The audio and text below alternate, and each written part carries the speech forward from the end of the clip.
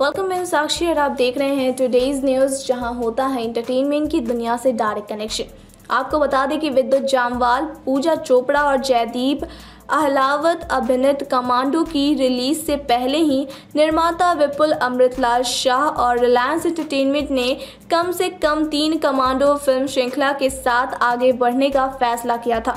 चूँकि फ़िल्म श्रृंखला की पहली किस्त कमांडो ने रिलीज़ के आठ साल पूरे कर लिए हैं। ऐसे में विपुल शाह ने सफल फ्रेंचाइजी की चौथी किस्त बनाने में अपनी खुशी व्यक्त की है। उन्होंने कहा कि एक पार्टनर के रूप में रिलायंस के आने से पहले मैंने लगभग एक साल तक फ़िल्म पर काम किया था और हमने उस समय तय कर लिया था कि हम कम से कम तीन कमांडो फ़िल्मों के साथ आगे बढ़ेंगे। और मुझे खुशी है कि अब हम चौथी के साथ आगे बढ़ने जा रहे हैं। इसीलिए लक्ष्य अच्छी तरह से हासिल किया गया है। इस पूरी प्रक्रिया में रिलायंस के दो लोग बहुत महत्वपूर्ण थे, प्रीति सहानी और शिवाशीष सरकार, जिन्होंने इसे संभव बनाया।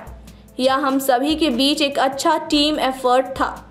और हमें खुशी है कि हम कमांडो फोर के बारे में बात कर रहे हैं और फ्रेंचाइजी को एक नए स्तर पर ले जा रहे हैं। खैर, आप लोग इस फ़िल्म के बारे में कुछ कहना चाहते हैं तो हमें कमेंट बॉक्स में ज़रूर बताएँ। थैंक यू सो मच की watching for more entertainment news and update